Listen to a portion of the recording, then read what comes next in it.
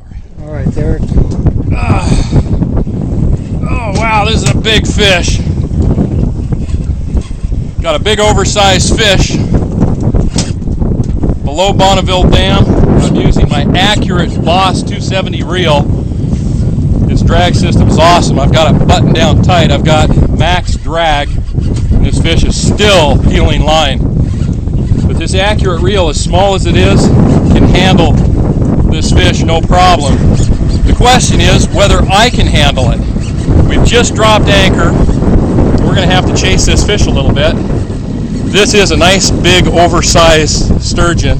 I've got 30 pound test and Charlie Foster from Northwest Sturgeon Fishing Adventures specializes in catching sturgeon. He's the only full-time sturgeon guide in either Washington or Oregon. This is all he does. He doesn't have another job, so he knows sturgeon. He told me that if I came down here and really wanted to put these accurate reels to the test, that he'd get me on some really big fish, and that's what he's done.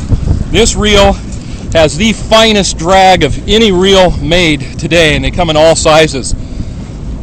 They come in two speeds this size, but this one is the Boss 270, and it's doing just fine on this oversized sturgeon.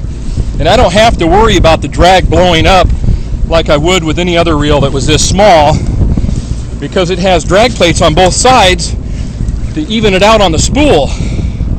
And it's just such a fine piece of machined equipment that I can trust it to catch as big a fish as I can handle.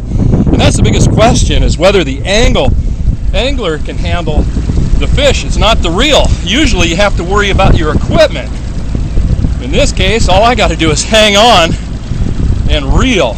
And I am using a fighting belt because I want to get it locked in, not have a bruise on my belly.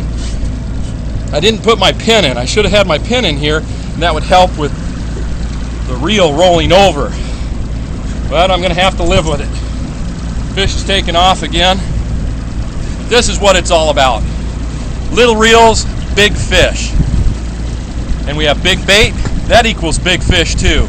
Where else in North America can you go and catch a fish in, in fresh water that'll go anywhere from 50 to 500 pounds? I'll tell you where. The Columbia River below Bonneville Dam. It's August 15th, and we're going to show you how big this fish is in just a little bit after I muscle him in a little bit more.